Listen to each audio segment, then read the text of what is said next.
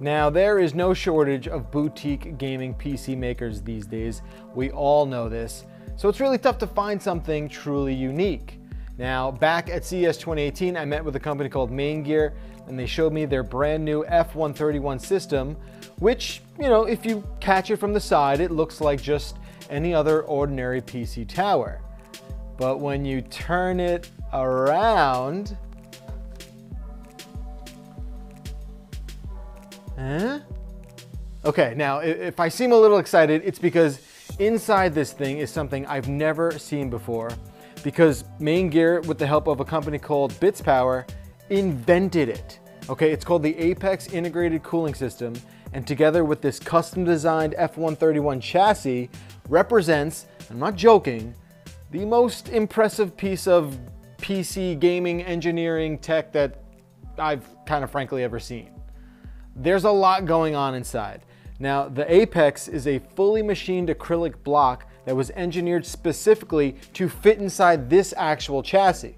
The coolant flows from the inside of the reservoir, cools the CPU, then the GPU in what's called a loop system because the liquid is constantly traveling through this uh, circular thing. That's why it's called a loop. Get up in there nice and close and check out all that close quarter piping. I mean, this machine is using every last cubic inch to ensure that there's barely any wasted space inside. Now look, Maingear sent us this machine sparing very few expenses.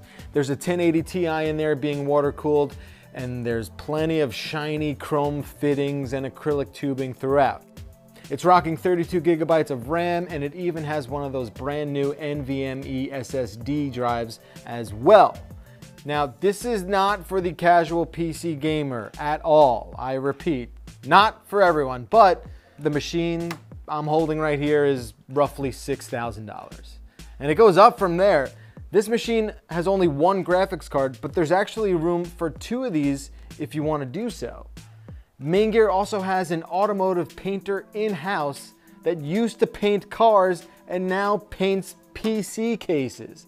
You can choose whatever kind of paint you want I chose this powder blue one because it's really sexy. Now also, because of the loop system that's going on in here with all these pipes, the GPU is modular, so Maingear can upgrade your card down the road, which is actually pretty appealing because NVIDIA just announced all those new 11 series cards.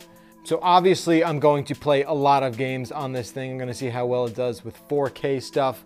I needed to share it with you because it is a damn engineering achievement that absolutely has to be seen, to be believed. Look at this thing. It's from the damn future. Thanks so much for watching. I hope to see you again very soon.